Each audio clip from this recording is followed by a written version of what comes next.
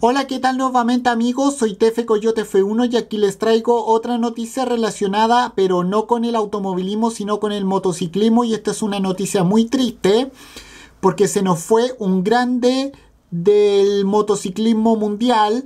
Se trata del español Ángel Nieto, quien fue 13 eh, veces campeón del mundo de motociclismo. Eh, como sabemos, eh, este ex piloto eh, de motociclismo perdió la vida en la tarde de, del pasado, de este recién pasado 3 de agosto, a causa de unas heridas que sufrió en un accidente eh, unos días antes, el miércoles 26 de julio.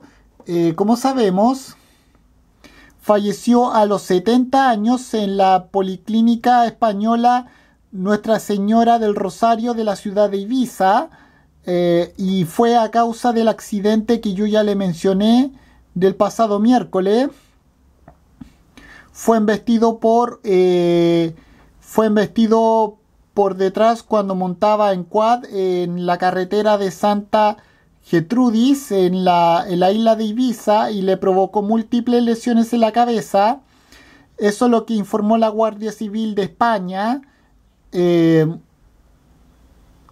eh, pudo y pudo provocar que el impacto pudo provocar que el casco del, del expiloto eh, saliese disparado y la conductora del turismo de nacionalidad alemana declaró que no pudo hacer nada por evitar eh, el accidente y en la consiguiente prueba le hicieron un alcotés y, dio negativo. Y bueno, eh, tuvo que ser intervenido de urgencia a las 3 de la madrugada allá en España debido a un aumento brusco de la presión intracraneal.